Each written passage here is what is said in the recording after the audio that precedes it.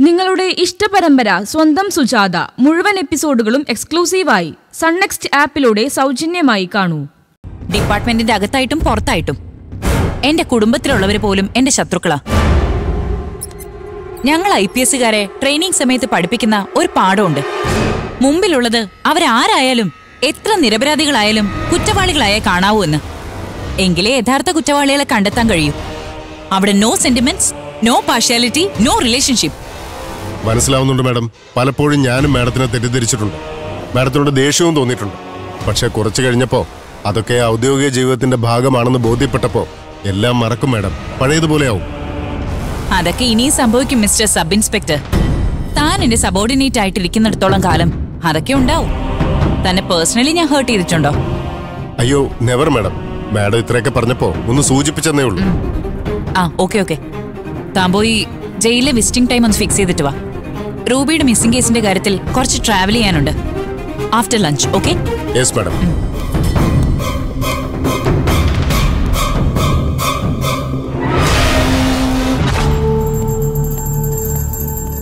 ഐഷേ ഞാൻ പറഞ്ഞില്ലേ? ഐഷ മോൾ പറഞ്ഞ സൂപ്രണ്ട് കേൾക്കൂന്ന് കണ്ടില്ലേ? അത് തേറി കണ്ടോളാൻ പറഞ്ഞത്. അപ്പൊ എ സി പിക്ക് ജയിലിനകത്ത് വേണ്ടതും വേണ്ടാത്തൊക്കെ ചെയ്യാൻ പറ്റും. അമ്മച്ചിക്ക് ഇപ്പൊ എന്താ വേണ്ടത്? സുജാതയെ കണ്ട് സംസാരിക്കണം. ആ. അതൊക്കെ ചെയ്യാൻ പറ്റും. കോടതി അറിഞ്ഞ എന്റെ ജോലി പോവും. സൂപ്രണ്ടിന്റെ മുറിക്കപ്പുറം പോലീസിന് പ്രവേശനമില്ല പ്രവേശിച്ച കോടതി ഇടപെടും. അപ്പൊ പിന്നെ നീ എന്തിനകത്തോട്ട് കയറിയത്? എന്നെ മാത്രം വിട്ടാ പോരായിരുന്നോ? അമ്മച്ചിയുടെ സ്വന്തം സുജാതയല്ലേ? പോരെങ്കിൽ കുറെ കാലം കൂടി ഒന്നിച്ചു കാണുമല്ലേ പിന്നെ അവളുടെ വയറ്റിൽ കിടക്കുന്ന പേരക്കുട്ടിയെ കാണാനല്ലേ ധൃതി പിടിച്ചുള്ള ഈ വരവ്? ജോക്കുട്ട വനിതാ ജയിലിൽ കയറി ഇറങ്ങി നടക്കുന്നതും ആ കുഞ്ഞിന്റെ അമ്മയെ കാണാൻ വേണ്ടിയാ. ചെല്ല് പോയി കണ്ടിട്ട് വാ.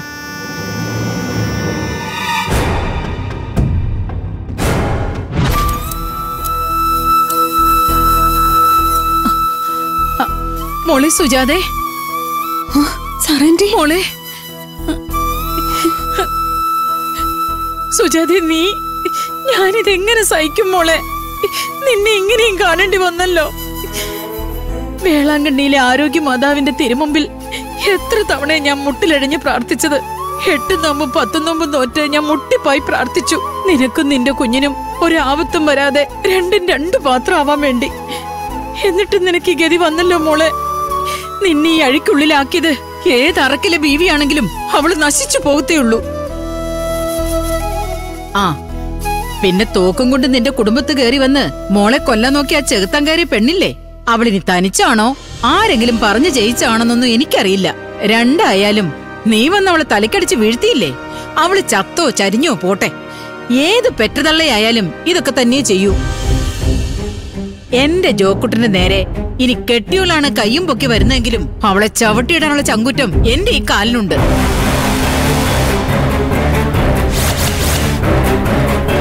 അവറാച്ചനാണെങ്കിലും അവന്റെ നേരെ വന്ന ആ കൈ ഞാൻ വിട്ടു. മോൾ ഈ ചെയ്തതിന് ഒരു കുമ്പസാരക്കൂട്ടിലും കേറി കണക്ക് പറയണ്ട. നീ ചെയ്തതേ ഏതൊരമ്മയും ചെയ്യൂ. നീ ചെയ്തത് പുണ്യപ്രവൃത്തിയാ. തെറ്റ് ചെയ്തതും അപ്പുവിനെ വെടിവെച്ചതും ആ പിശാചു കൂടിയായ റൂബിയല്ലേ? അതിന് നിന്നെ ഈ ജയിലിലാക്കിയത്. ഏത് തലതിരിഞ്ഞവളാണേലും അവൾ ആരാണേലും വിശുദ്ധ പുണ്യാളൻ കണക്ക് തീർത്തോളും. മോൾ വിഷമിക്കണ്ട. മോളുടെ വയറ്റി കിടക്കുന്നതേ എന്റെ മോന്റെ കുഞ്ഞ.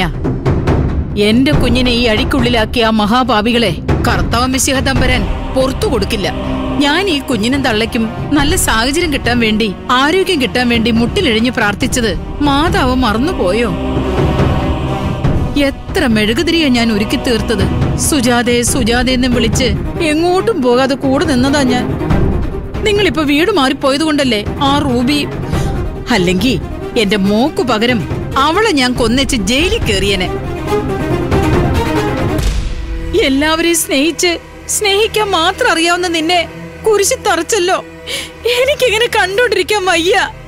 ഈ കൊച്ച് ഈ ഇരുമ്പ് ഒരു മെത്ത പോലും ഇല്ലാതെ ഇത്തിരി വെളിച്ചമോ കാറ്റോ കിടക്കാത്ത ഈ പത്തായി മുറിയിൽ? സാറേന്റെ വെറുതെ ഒച്ച വെക്കാതെ. കരയില്ലേ? സാറേന്റെ ഒത്തിരി നാളിന് ശേഷം ജയിലിൽ വെച്ച് കണ്ടതിൽ വിഷമമുണ്ട്.